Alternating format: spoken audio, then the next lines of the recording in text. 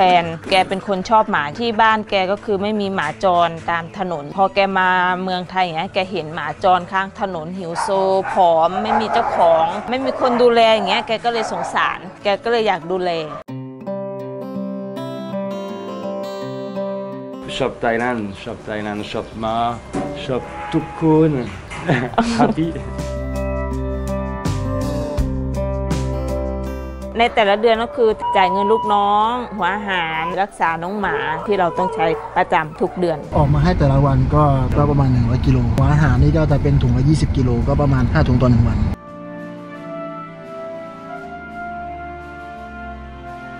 มีความสุขได้เห็นเขากินอิ่มนอนหลับ แล้วก็มีที่อยู่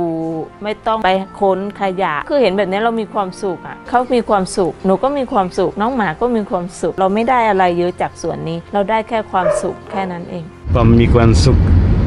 มากๆ